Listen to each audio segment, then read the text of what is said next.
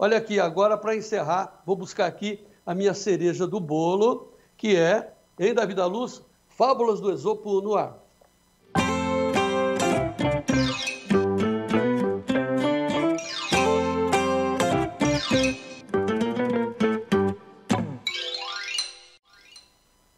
Hoje a fábula tem por título O Lobo e o Cavalo sempre tem a ver, claro, com a política, né? Não com a ideologia, mas com a política. O, o, filósofo Esopo, grego, viveu 370 e tantos anos antes do nascimento de Cristo, vivia lá na Grécia, né, em Atenas, e fazia da, das, das suas, dos seus pensamentos, ele traduzia através de fábulas, e hoje é a história do lobo e do cavalo.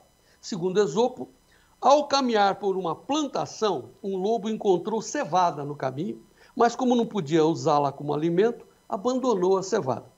Estava indo embora quando encontrou um cavalo. Então ele falou: vou tirar uma vantagem disso. Então o lobo tentou conduzir o cavalo até a plantação, dizia que tinha encontrado cevada, mas não a comera, pois tinha deixado reservada para ele, o seu cavalo.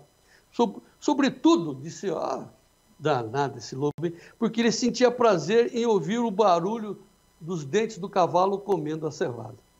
Aí o cavalo olhou bem para ele, segundo Esopo, respondeu assim: travessão, aspas, dois pontos, abre aspas. Mas se lobos pudessem se alimentar de cevada, você jamais teria posto as, as orelhas na frente do estômago. E deu uma relinchada e preparou o coice. Fecha, fechou aspas, e aí o Esopo complementou. Esta fábula mostra que os perversos não merecem confiança, mesmo que façam alarde de boas intenções. Será que o Esopo estava pensando nas nossas eleições, desse pessoal que quer se repetir, quer voltar ao poder para mamar deitado? Não vamos permitir, não vamos aceitar. E vamos encerrar com a nossa informação, que é a mensagem que a Nádia Sati nos mandou para hoje, para fechar o nosso programa, é a mensagem, um pensamento de Albert Einstein.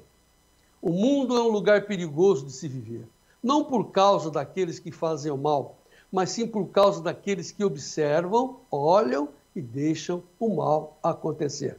Isso foi isso que aconteceu com Paulo Moura e nós não vamos permitir, nós vamos mostrar amanhã, aqui no Tempo e Dinheiro, qual é o entendimento que o Paulo Moura, um professor, um homem que pensa como Einstein, da natureza da vida e o que é o comportamento que nós temos que ter diante do que vem por aí nessas nossas eleições, que vão decidir o futuro do nosso país. Por isso nós estamos juntos com a nossa bandeira, por isso nós estamos juntos com os produtores rurais que formam a riqueza do meu Brasil.